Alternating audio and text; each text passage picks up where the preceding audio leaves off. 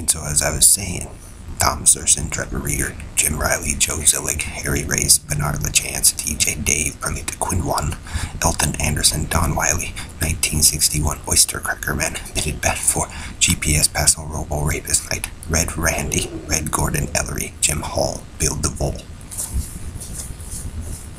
Um, what was I gonna say?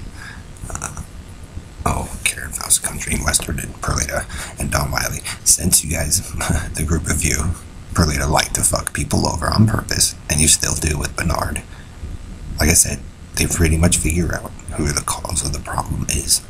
Who creates accidents, why people are sick, why you guys follow the prison, the prison taco story and think it's so fun. Dump your crap with Red Randy and the Carnies.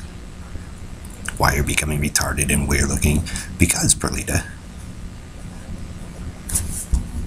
you women always lie, and you're jealous of certain women, and you keep following your little prison story, screwing people over on purpose.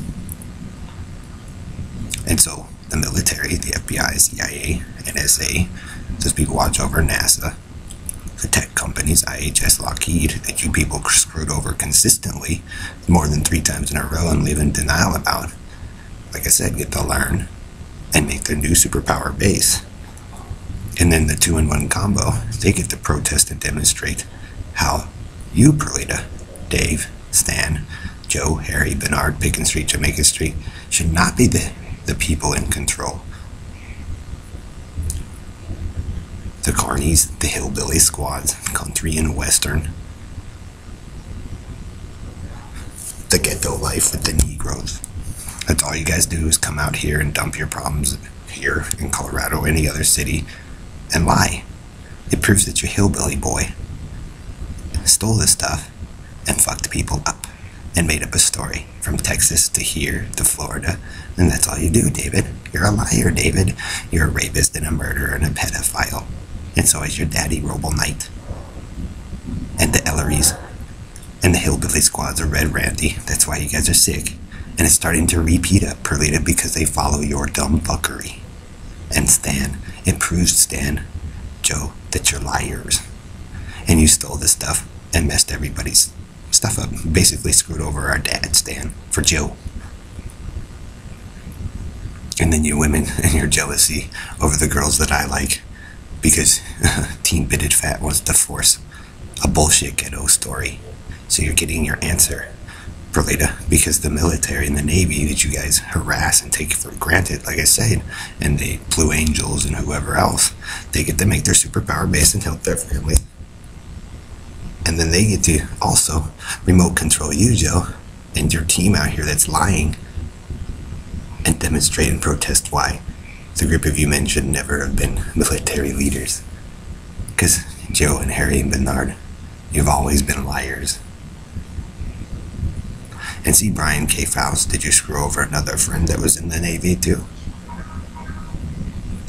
For Tuckle Joe. There's another family out here you guys keep dumping on and screwing over too, huh? So, Perlita, your obsession with the Robo Knight and Harry and Joe over that one church and that hillbilly squad Red Randy proves that you guys should not be in control and you're the ones committing rape and murder and lying and making people sick, Perlita. So, screwing me over basically proves that you guys were creating with the All American until their accidents on purpose, murders on purpose, to cover for Joe. You screwed over the McBrides, the Beswicks, the Fuglers, the Millers. Jewish Colonel Mel Kobe, any of the pretty girls. Taco. Your prison fag story, Perlita, for you and Bernard, that you run around and do whatever you want.